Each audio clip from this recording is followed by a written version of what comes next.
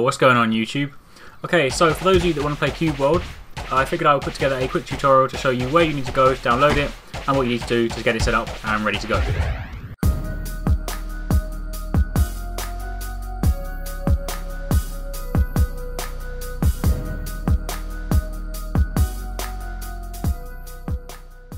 Okay, so for any of you that were looking forward to this game and have been kind of watching the site all week, you will know that in the middle of the week the, the site went down because it was so busy, there were problems, so they kind of had to take the, shape, the shop offline for a while. Um, but it is now back up, so you can now download the game.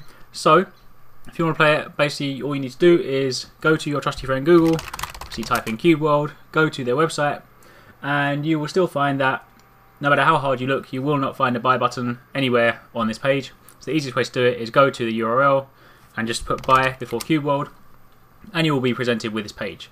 This will then go through the three things you need to do in order to get it set up. Um, obviously the first thing, make sure you do update your DirectX drivers. Mine were up to date so it wasn't a problem, but make sure you do it beforehand because if they don't then you're going to have a fun time trying to run this and it's going to be a bit of a pain. Um, but yeah, once they're set up, um, obviously check the specs and then there will be a buy button down here. I've already bought it so it's not there. Um, but yeah, once you buy it, you then basically get a your little executable pretty much you just run it from your desktop and then you're almost good to go. It will then launch an updater, it'll update itself, and then provided you know your PC can run it, and then you've updated your drivers, then you are genuinely good to go.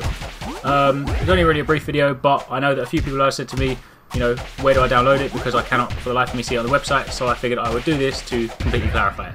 Hopefully you found it helpful. As always, don't forget to like and share this video. It does really help me out. Obviously, don't forget to subscribe. Also, don't forget to check out the Facebook page, the Twitter page, and the Arekkz Gaming website for all your news throughout the week. But otherwise, thanks for watching. Take it easy. Catch you next time. Peace out.